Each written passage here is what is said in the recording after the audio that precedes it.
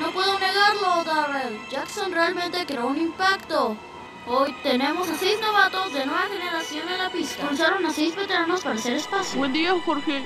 ¿Y la leyenda viviente qué dice?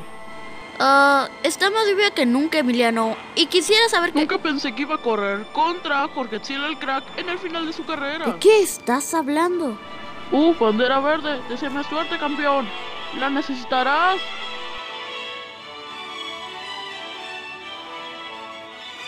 Una razón de que Martínez y esta nueva generación sean más eficientes es que mantienen una trayectoria vuelta tras otra. Tercera victoria para el novato, sensación. Martínez está por encima de todos y hay una buena razón. Emplean los simuladores más avanzados estas máquinas, crean una experiencia de carrera virtual tan real que los corredores ni siquiera tienen que salir.